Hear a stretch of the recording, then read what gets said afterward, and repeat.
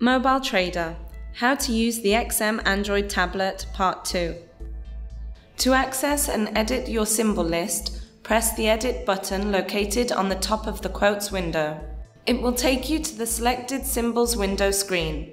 Here you can see the list of your currently chosen instruments. You can remove specific instruments from your main symbols list by clicking the Delete button located on the top right hand side of the panel.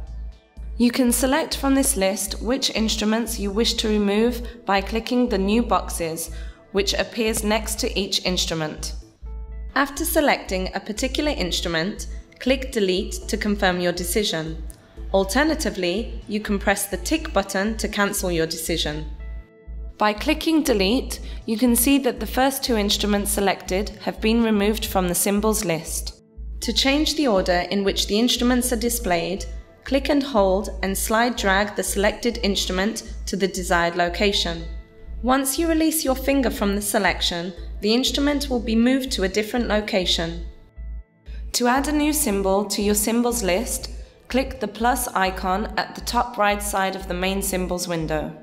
This will present you with a new symbol selection window that contains the various symbol groups. Here you can see what each group contains.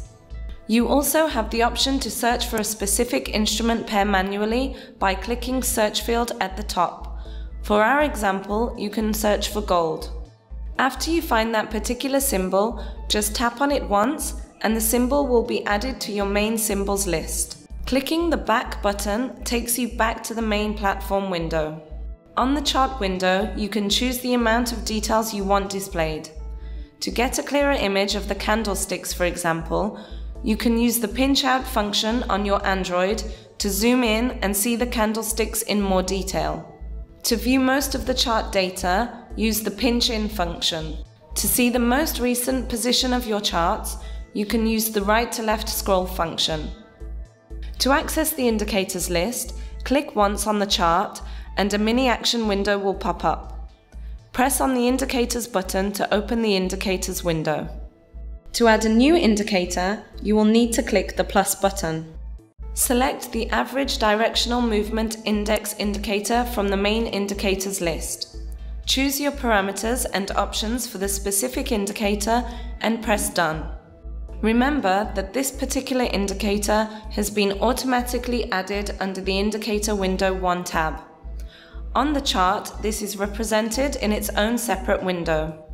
Depending on the indicator, it will either be applied on the main chart or in its own window. In order to add an additional indicator to your list, press the plus symbol on the right side of the main chart tab. This action will display the indicators list.